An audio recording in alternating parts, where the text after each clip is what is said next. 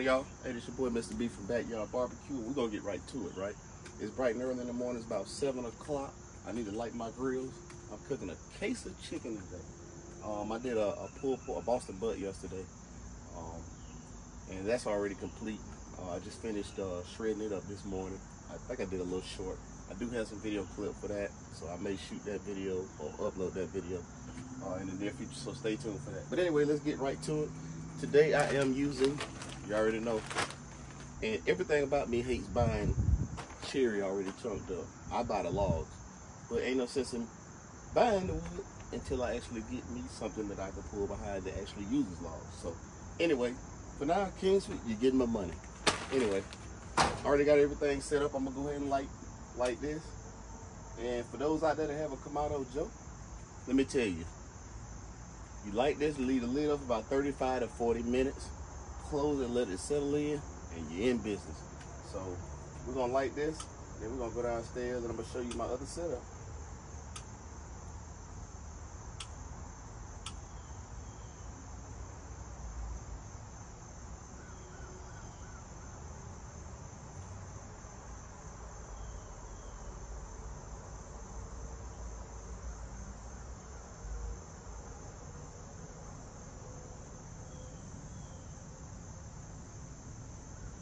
There we go. Vents wide open, lid open. We're ready to get it cracking. All right, let's go downstairs, y'all. Give y'all a tour while I'm at it. Got my child child gate on, safety. Yep.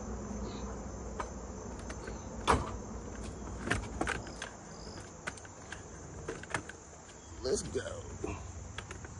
Lo and behold, Look what I have here. Yes, sir. Got that Lowe's version already set up. And let me get set up so we can get talking a little bit. And let me give you a little view here. All right. Here we go. I'm gonna go ahead and light this while we're talking. And I'm gonna give you some pointers on this grill if you have this one.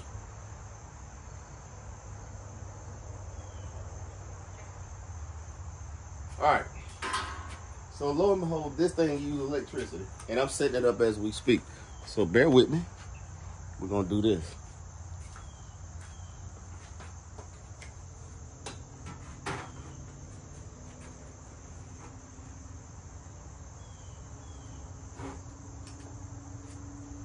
Man. I just use my extension cord, y'all. Turn the power on. My lid's open right now. But once I get it up, and it starts smoking, and we're gonna come over here. I'm gonna show you show you something that you don't forget that I have done. This thing, right? This is to shut off your temps. It literally goes in here.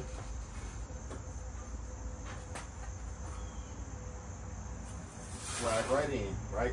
Shut off your temps, preserve some of the charcoal from gravity fed, right? But if you don't take it out when you cook cooking, it's almost impossible once this chute opens up and it's hot to pull this out. Trust me, I know. So learn from my experience to take it out before. So I know I was cooking, I took it out yesterday. But anyway, we're gonna let this bellow and come up the temp, and then we're gonna let it do. This right here though, I will tell you this.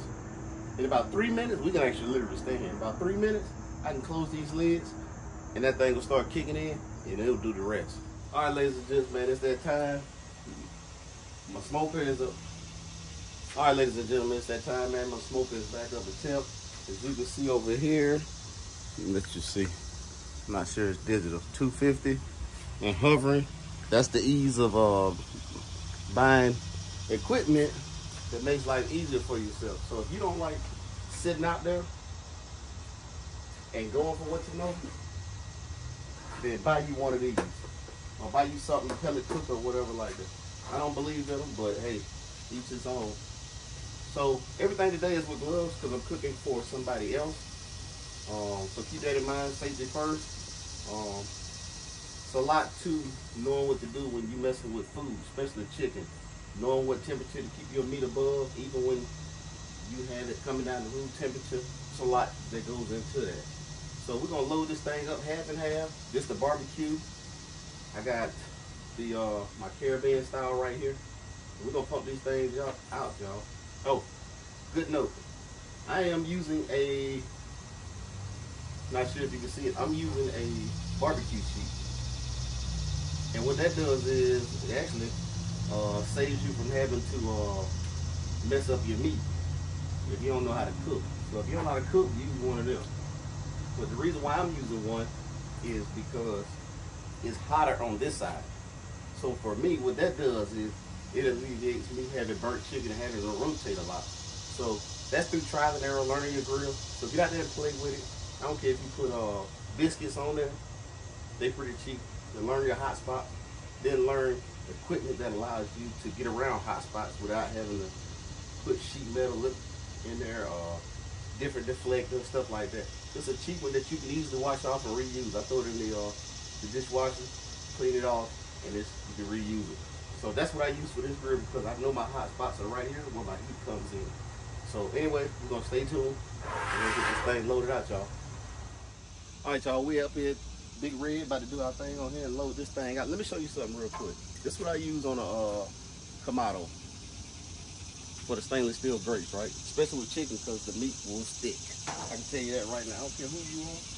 Unless you sit there flipping it. And you know we don't do that on Big Red, we don't flip. We just load this thing out. So get you some of that. You can use Pam, canola oil, something like that. Um, and this chicken, just word to the wise, I'm putting it down, face down, right? And what I mean by that is skin down. I call it body down, legs up. But anyway, stay tuned, y'all. We're gonna get this thing coming. We're gonna come back in one hour. Load it out.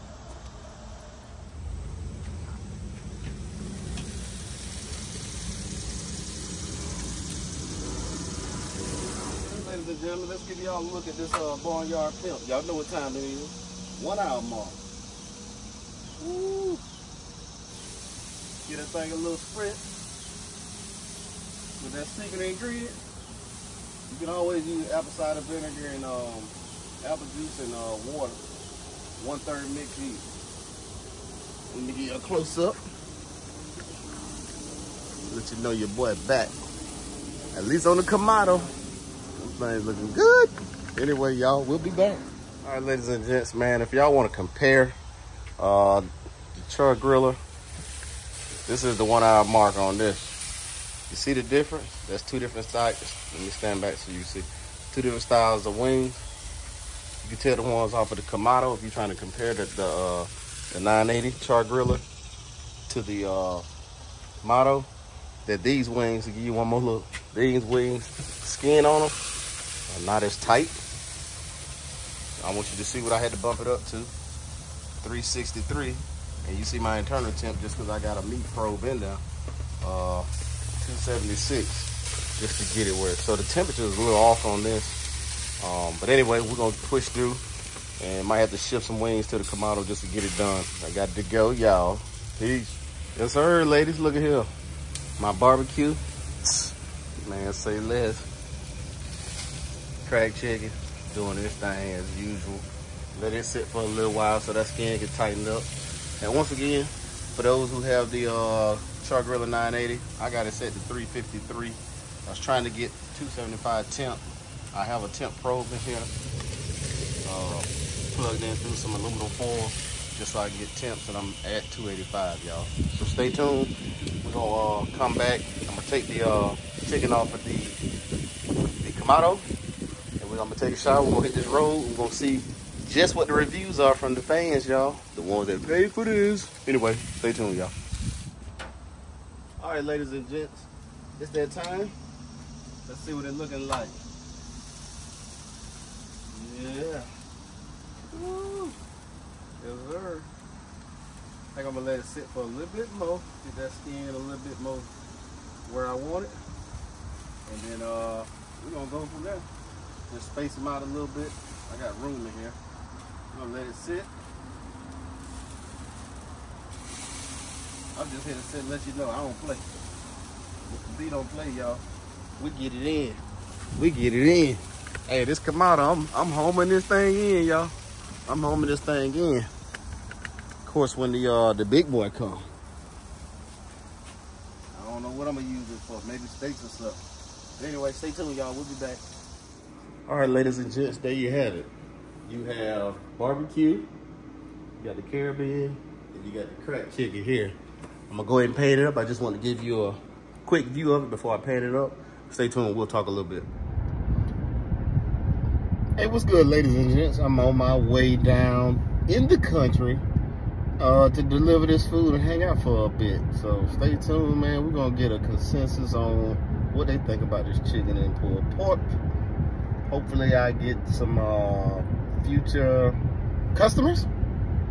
Um, you know, me running my mouth. Maybe I'll talk myself into cooking some uh, my my famous brisket and beef ribs, but we'll see.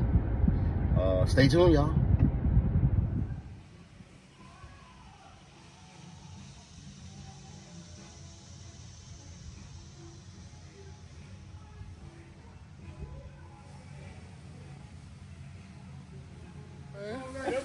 Yeah. Mm-hmm. Yeah, I got a custom grill. Uh. Mm-hmm.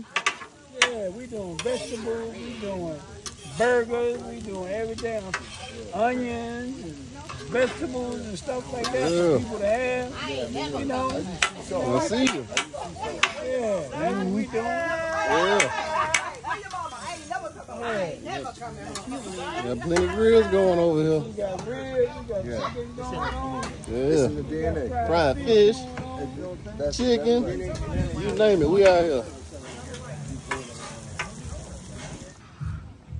Yeah. Woo. Finally done. And that's only because I got to go to another one, y'all. Pray for me. Anyway, it's a good day, good times with good people, man. All right, backyard barbecuers and barbecuers, man. This your boy, Mr. B, and it was an eventful event, man. We had a blast out there, man. I was hoping. I walked up with my case of chicken backed up, backed my truck up in there, you know, showcasing my little black ribs and everything. And I pull up, and I walk up on this smoker that had probably two times the amount of chicken I brought and they was steady bringing chicken out. Man, you you never know. Like I was so excited to bring my chicken and put it on showcase because you know I'm just jumping back in the game really really hard, and uh, of course I wasn't able to get anybody to give me a review because I was so busy frying chicken. Yep. Uh, my friends that was out there, I was sitting there and I couldn't just watch them. If you do anything outside in the backyard, cooking, grilling, hanging out, chilling, whatever it is, nothing in me says I sit there and watch my friends just cook all the food while I'm sitting there sipping on my drink. So I jumped up and uh, started helping and I was on the fried chicken, y'all. So it had nothing to do with grilling, but your boy can get out on the chicken too. So lo and behold, man, they had fried fish, they had it all, man. So um, like I said, it was an eventful event. We had a blast. And uh, yeah, on to the next. Things popping off and moving pretty quick. So stay tuned for something in uh, September, y'all. I don't play. We out here doing it, man. But anyway, appreciate everybody that watched this far, man. Watched my journey way back. Um, as I continue to grow, you grow with me. I don't forget names. Trust me. I remember this firefighter in New York, man, that won my first uh, 250th uh, giveaway. I remember him. I got something for you. Just now that I didn't talk to you up, I got something for you. But anyway, uh, yeah, he was a firefighter and, uh, uh, and retired from the uh, 9/11. So he was my 250th uh, subscriber giveaway. He won that. So I'm gonna reach out to him. Got something for you, man. Just because I talked you up. So uh, stay tuned. Anyway, it's your boy, Mr. B from Backyard Barbecue, saying don't forget to like, subscribe, comment. Follow your boy on this journey, man. We're taking it to the DMV area. We here.